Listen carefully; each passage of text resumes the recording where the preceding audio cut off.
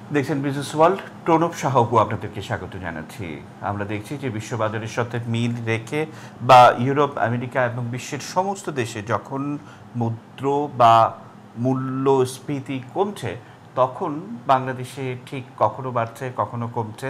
অর্থাৎ আমরা যেভাবেই পরিসংখ্যান উপস্থাপনা করি না কেন, আমরা দেখছি যে সাড়ে আটের উপরে কখনো দশ, কখনো নয়, সাড়ে নয় আবার ঠিক পৌনে নয়, পৌনে দশ, ঠিক এরকম একটার মধ্যে থাকছে। আসলে সমস্যাটি কোথায়? আমরা সেটি নিয়ে একটু কথা বলতে চাইব। আমরা বিষয় নির্ধারণ করেছি যেভাবে কমতে পারে মূল্যস্ফীতির দাম। আমরা আমন্ত্রণ জানিয়েছি বাংলাদেশ দোকান মালিক সমিতির সভাপতি মোহাম্মদ হেলাল ভাইকে। হেলাল ভাই যে কথা বলছিলাম যে বিশ্বব্যাপী সব জায়গায় যখন নিত্যপণ্যের দাম কমছে এবং সেই কমার কিন্তু একটা হার রয়েছে এবং সব কিন্তু সাড়ে চার এবং পাঁচ ছুঁই ছুঁই এরকম একটা পর্যায়ে। কিন্তু আমাদের দেশে কিছুতেই আমরা সেটা সাড়ে আটের নিচে নামাতে পারছি না। আমরা জানি যে বিআইডিএস এর গবেষকরা সেটা নিয়ে নানান তথ্য উপাত্ত বের করেছেন, নানা গবেষণা বিষয় তাদের হাতে রয়েছে। কিন্তু সব সাকুল্যে বা সব কিছুর পরও তারা কিন্তু পরিষ্কারভাবে বলতে পারছেন না যে এই দ্রব্যমূল্য যেটি বাড়ছে সেটি কেন বাড়ছে। তারা একে অপরকে দায়ী করছে। সব কিছু মিলে বাংলাদেশ দোকান মালিক সমিতি নানাভাবে এগুলো নিয়ে আপনি কাজ করেন, অনেক বছর ধরে কাজ করেন। আপনি কি খুঁজে পাচ্ছেন? কীভাবে আমরা এই জিনিসপত্রের দাম কমাতে পারি এই মুহূর্তে? হেলার ভাই। ধন্যবাদ প্রণব ভাই। প্রথমত আপনি যেটা খেয়াল করবেন যে আসলে মূল্যস্ফীতি সারা পৃথিবীতেই বাড়ছে। যে কথাটা বলেছে হয়তো বা দু একটা দেশে মূল্যস্ফীতি কমেছে জাপানের মতো দেশে অথবা সিঙ্গাপুরের মতো দেশে। অন্যান্য দেশে কিন্তু মূল্যস্ফীতি বাড়ছে। আমি গত সপ্তাহে এসেছি আপনার টার্কি থেকে। তো এখন তুরস্কের যে অবস্থা, তাদের সরকারি হিসাব হচ্ছে সত্তর পার্সেন্ট হচ্ছে তাদের মূল্যস্ফীতি আর বেসরকারি ভাবে হচ্ছে দুইশো পার্সেন্ট মূল্যস্ফীতি। তো তারপরেও ওখানকার মানুষ কিন্তু এবার ধারণা করা হয়েছিল যে এরদোয়ান বোধহয় খুব ভালো করবেন না, কিন্তু তারপরে এরদোয়ান জয়লাভ করেছেন আমরা যেটা দেখেছি। যে কথা বলছিলাম যে এখানে আসলে তুরস্কের যে বিষয়টা, সেখানে তাদের কাছে টাকা আছে। যেহেতু তাদের কাছে টাকা আছে, সেই কারণে তাদের কাছে এত হাই উতাস নাই বা দাম বেড়েছে, মানুষের কষ্ট হচ্ছে তা না কষ্ট হচ্ছে। এখন বাংলাদেশের সমস্যাটা কোথায়? আপনি বাংলাদেশে দেখবেন যে এই আমাদের কিন্তু দীর্ঘ সময়, প্রায় তেরো বছর যদি আপনি ধরেন বা তেরো বছরের কাছাকাছি ধরেন আপনি তখন দেখবেন যে মূল্যস্ফীতি আমাদের সাড়ে পাঁচ থেকে ছয়ের মধ্যে মতো ছিল। এই গত কয়েক দিন যাবত বা বছর খানেক যাবত আপনি দেখবেন যে মূল্যস্ফীতিটা বেড়ে আমাদের প্রায় কখনো আটে চলে যাচ্ছে, নয় দশে চলে যাচ্ছে। এখন প্রশ্ন হচ্ছে, আমাদের যে ভোগ্য পণ্যের দাম বাড়ছে, এতে কোনো সন্দেহ নাই যে বাংলাদেশের ভোগ্য পণ্যের দাম একেবারে মানে লাগামহীন হয়ে পড়ে। এটা কিন্তু পৃথিবীর অন্যান্য দেশের ট্রেন্ড এরকম না। এখন এইটার জন্য আসলে মূল কারণটা কি? আপনি যেভাবে খেয়াল করেন যে আজকে ধরেন বাংলাদেশে আপনার ভোজ্য তেলের দাম, চিনির দাম, যদি পার্শ্ববর্তী দেশের সঙ্গে আমরা তুলনা করেন, দেখবেন যে এখানে অনেক ব্যবধান হচ্ছে। এটার কারণটা কি? প্রথমত কারণ হচ্ছে আমাদের বাংলাদেশের তেল এবং চিনি এবং বড় বড় যারা আমদানিকারক আছেন ভোক্তারা, তারা কিন্তু গোটা চার পাঁচজন মিলেই কিন্তু সারা বাজারটাকে নিয়ন্ত্রণ করে।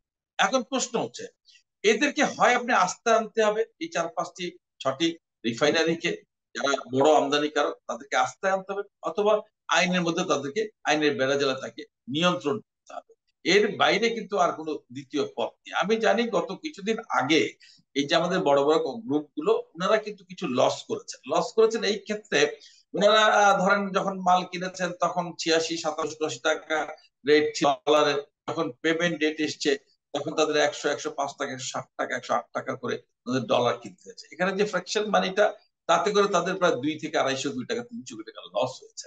এখন জন্য তারা এখন ধরনের মরিয়া হয়ে এবং এই মরিয়ার কারণে আপনি দেখবেন যে বাজারটাকে কোনো ক্রমেই স্বস্তির মধ্যে আনা যাচ্ছে না। এখন আপনি যে কথাটা বলেছেন যে কি করলে পরে আমাদের বাজারটা স্বস্তির মধ্যে থাকতে পারে, আপনি যেভাবে খেয়াল করেন, আমাদের বর্তমান সরকার বিভিন্ন ক্ষেত্রে কিন্তু প্রণোদনা দিচ্ছে, মানুষকে সাহায্য করার চেষ্টা করছে, পিছিয়ে পড়া জনগোষ্ঠীকে নিম্ন মানুষকে বিভিন্ন ভাবে প্রণোদনা দেওয়ার চেষ্টা করছে। আমি টিসিবি অত্যন্ত ভর্তুকি মূল্যে? তারা প্রায় এক কোটি মানুষকে খাবার দিচ্ছে ওনাদের স্ট্যাটিস্টিক্স অনুযায়ী। আমি যদি ভেবে ধরি যে বছর শেষে টিসিবি কত হাজার কোটি টাকা ভর্তুকি দিচ্ছে? তারপরে আপনার বিভিন্ন রকম সেফটি নেট গভর্নমেন্টের আছে কাবিখা সহ ইত্যাদি ইত্যাদি, এই ভর্তুকিগুলো সরকার দিচ্ছে। সেই ক্ষেত্রে সরকার যদি মনে করে যে যদি আজকে তেলে এবং চিনিতে যদি আমরা অন্যান্য ভোগ্যপণ্যে তেমন কোনো শুল্ক বা ভ্যাট নাই। তেলে এবং চিনিতে যে শুল্ক এবং ভ্যাটটি আছে, আমি বছর শেষে টিসিবির মাধ্যমে যে ভর্তুকি দিচ্ছি, সেটা কত টাকা? আর টিসিবির মাধ্যমে আপনি যে ভর্তুকি দিচ্ছেন, ঠিক আছে মানুষ পাচ্ছে খুব বেশি লাভ হচ্ছে, আমার কাছে কিন্তু মনে হচ্ছে। এবং এটা নিয়ে এক ধরনের সমালোচনা আছে রাজনৈতিক ভাবে যে মানুষ লাইনে দাঁড়িয়ে আছে ট্রাকের দৌড়াচ্ছে, এই দৃশ্যগুলো আমরা যদি না করি, যদি আমরা মনে করি যে না, আমরা ভ্যাট এবং ট্যাক্সটাকে এই যেহেতু এটা নির্বাচনী বছর এই সরকারের সেই ক্ষেত্রে আমরা যদি মনে করি যে না আমরা টিসিবির ভর্তুকিটা আপাতত কমিয়ে দিয়ে আমরা সেখানে ভ্যাট এবং ট্যাক্সটা যদি আমরা মকুফ করি বা একেবারে নামমাত্র ট্যাক্স এবং ভ্যাট আমরা আরোপ করি সেই ক্ষেত্রে আমাদের কত হাজার কোটি টাকা আমাদের রাজস্ব ক্ষতি হতে পারে তাতে করে আমার ধরে আপনি বলছেন যে এই বছরটি নির্বাচনের বছর একটু আগে আপনি বললেন এবং এটাও কিন্তু এক ধরনের স্বস্তি অস্বস্তি তৈরি করার একটা জায়গা রয়েছে। আপনি জানেন যে এই নির্বাচনী বছরটিকে সামনে রেখে জিনিসপত্রের দাম যেমন বাড়বে, একটা মহল অস্থিতিশীল পরিস্থিতি তৈরি করতে চাইবে, বিদেশি একটা চাপ থাকবে সব কিছু মিলে এখানে কিন্তু আরেক দফা মূল্য বৃদ্ধি আরেক দফা মূল্যস্ফীতির একটা সম্ভাবনা কিন্তু থেকে থাকে। অর্থাৎ হোমওয়ার্কটা এখনই করতে হবে। যদি স্পেশাল কিছু করতে হয়, সেটার এখনই কিন্তু সেটা প্রয়োগ করতে হবে। সব কিছু মিললে এরকম কোনো সুপারিশ আছে কিনা? হেলা ভাই।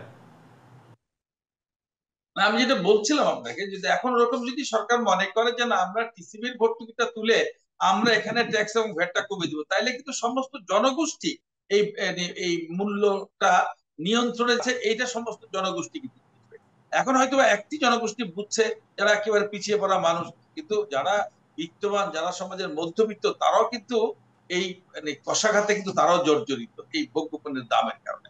তো সেই ক্ষেত্রে আমার মনে হয় যে এইবারে বাজেট আমাদের ভেবে দেখা দরকার যে আমরা আসলে কি পরিমাণ ভ্যাট এবং ট্যাক্স এই ভোগ্যপণ্যে আরোপ করব। আমি নিশ্চিত করে বলতে পারি আপনাকে।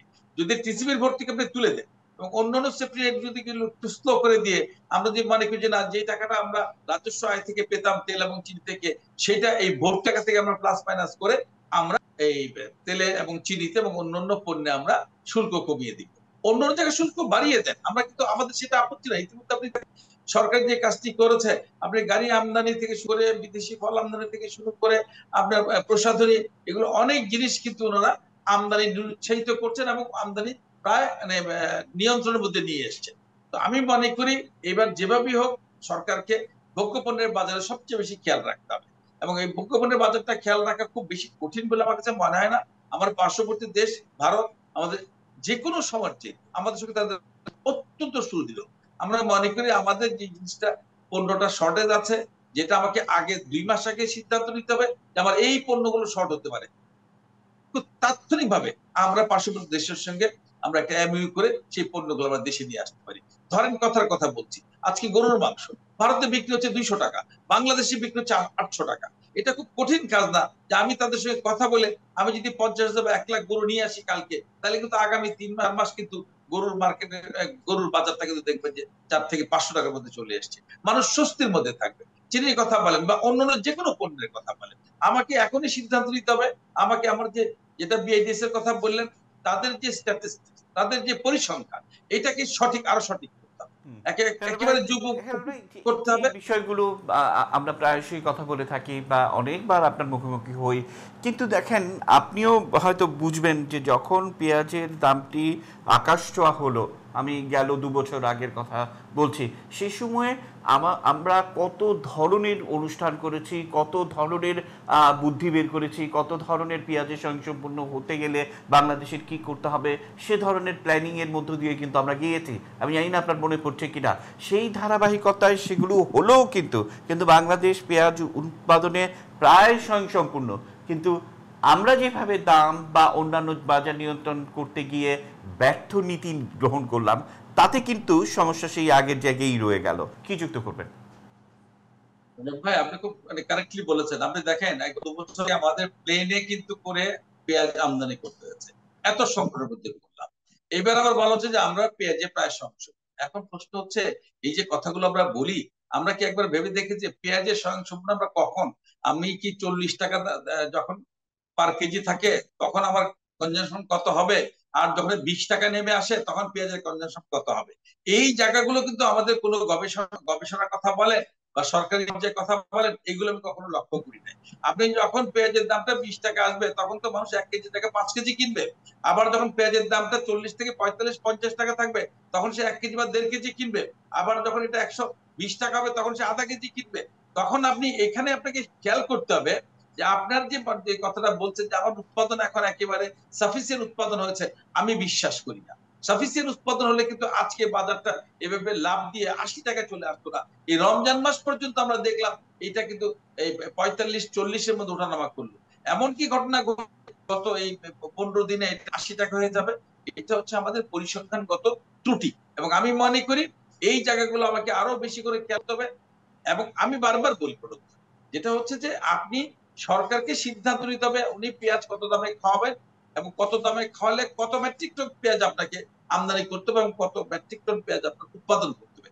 একইভাবে চিনি এবং তেল, আমি আবারও বলছি, সরকারকে সিদ্ধান্ত নিতে হবে, তার যে অর্গানগুলো আছে তারা সিদ্ধান্ত নেবে কখন কোন পণ্য আনতে হবে। এখন আমি আজকে পেঁয়াজের আমদানি বন্ধ করব কখন সেটা আমার খেয়াল থাকবে না। আমি খুলবো, আবার যখন এটা আশি টাকা বা একশো টাকা হবে, তখন আমি বলব যে আমি আবার পেঁয়াজের আমদানি আমি ওপেন করব। এই বিষয়টা কিন্তু ওইরকম না। বিষয়টা হচ্ছে আপনাকে সিদ্ধান্ত দিতে হ্যাঁ। যেহেতু পেঁয়াজের দামটা কম ছিল, পেঁয়াজের মানে ঘাটতি হবে এই কারণে পেঁয়াজের ব্যবহারটা বেড়েছে। আপনি এটা তো সাধারণ হিসাব। এটার জন্য কিন্তু রকেট সাইজের দরকার নাই। আপনি যখন পণ্যের দামটা কম থাকে, তখন পণ্যের ব্যবহারটা বেশি বেড়ে যায়। আবার যখন বেশি হয়, পণ্যের ব্যবহারটা কমে আসে।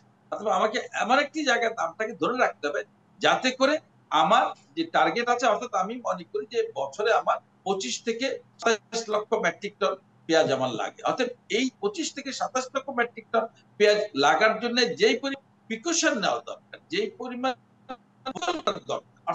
দাম এর বেশি এর বেশি ভোগ করবেন না। এই জায়গাগুলো আপনি যতক্ষণ পর্যন্ত খেয়াল করতে না পারেন, এই জন্য আমি বলেছিলাম হয় একটা আলাদা মন্ত্রণালয় করেন অথবা আলাদা সংস্থা করেন, যারা শুধু ভোগ্য পণ্য নিয়ে কাজ করবে এবং যদি ভোগ্য পণ্য নিয়ে কাজ করতে তাদের ব্যর্থতা দেখা দেয়, তাহলে তাকে জবাব দিতে হবে। পৃথিবীর অন্য দেশ পারলে আমি কেন পারব না বলেন তো? আমার না পারার তো কোনো কারণ নাই। আজকে বাজারে গিয়ে দেখবেন কোন শাকসবজি আপনার আশি টাকার নিচে, সত্তর টাকার নিচে পাওয়া যাচ্ছে না। এবং এটা কিন্তু আগামী পনেরো দিন পরে, আমি দায়িত্ব নিয়ে বলছি, পনেরো দিন পরে কিন্তু কমে আসবে। কিন্তু এই পনেরো দিনে আপনার যে পরিমাণ সরকারের যে ক্ষতিটা হবে, অথবা মানে সরকার পরিচালনা যারা করেন, তাদের যে ক্ষতিটা হবে পাবলিকলি যে ক্ষতিটা হবে দাম বেড়ে গেছে, দাম বেড়ে গেছে, বাজারে আগুন লেগে গেছে, বাজারে আগুন লেগে গেছে। এই বাজারে আগুন লাগার পিছনে আসলে দায়ী কারা? এটা খুঁজে বের করতে হবে। এবং শুধু ব্যবসায়ীদের দোষ দেবেন, এটা তো হবে না। ব্যবসায়ীরা ব্যবসা করে তো লাভের যখন সে সুযোগ পায়, সে দশ টাকা বেশি করে, দশ টাকা থেকে বিশ টাকা করে, এটা কোনো না আমি লাভ করব এটা কিন্তু করব না। এটা রাষ্ট্রীয় ব্যবস্থা আসলে মানে ব্যবসায়ীরা তো লাভবান লাভ করবে তারা হলে ব্যবসা কেন? কারণ তাদের একটা বিনিয়োগ রয়েছে।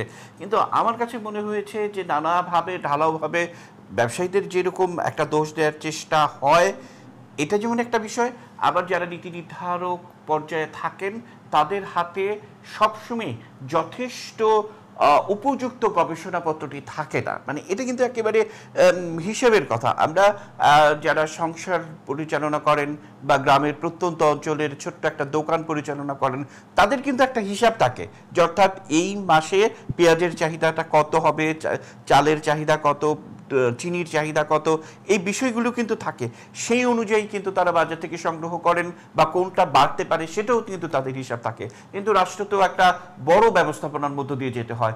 তাদের এই গলত্রি বছরের পর বছর, কেন এটা? বা এটাও কি একটা সিন্ডিকেশনের অংশ? ভাই? এখানে সিন্ডিকেশন না, এখানে হয় কি আপনার আমরা প্রপার লোককে প্রপার জায়গায় আসলে স্থলাভিষিক্ত করছি না।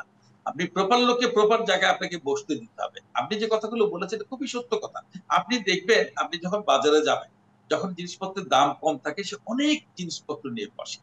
আর যখন জিনিসপত্রের দাম কম থাকে, বলবেন যে হ্যাঁ আমি তো বাজারে সব জিনিস পাচ্ছি। হ্যাঁ পাচ্ছেন। কিন্তু আগে কিন্তু সেই দোকানি দশ কেজি কিনতো, কিনে বিক্রি করার চেষ্টা করতো, এখন সে আইটেমটা পাঁচ কেজিতে নামিয়ে নিয়ে এসছে। পাঁচ কেজি বিক্রি করছে। অতএব তখন সে জানে যে, আমাকে পাঁচ কেজির বেশি আমি বিক্রি করতে পারব না এবং যেহেতু দাম বেড়ে আমার পাঁচ কেজির বেশি বিক্রি হবে এই ম্যানেজমেন্টটা এটা কিন্তু একজন শিক্ষিত লোকের দরকার নাই।